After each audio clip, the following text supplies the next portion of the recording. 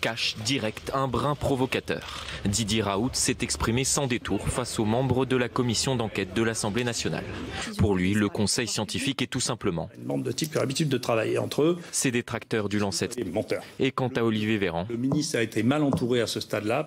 après avoir enchaîné les punchlines, le professeur a livré son analyse sur la gestion de l'épidémie par les autorités.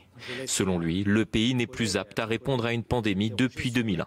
Le- le- la manière dont ça s'est organisé est totalement archaïque. si vous voulez. L'idée qu'il y a des centres nationaux de référence de diagnostic est une idée qui, est- qui- qui date d'il y a 40 ans, je sais pas.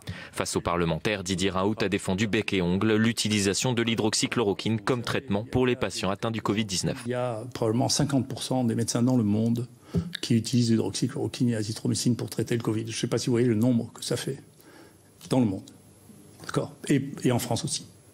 Donc, euh, pensez que le message n'a pas été entendu. Il y a des gens qui l'ont pas entendu. Il y a beaucoup de gens qui l'ont entendu et qui l'ont entendu et qui n'ont pas eu le droit de le faire. Didier Raoult qui martèle son indépendance en expliquant que la seule personne à qui il rendait compte, c'est lui-même.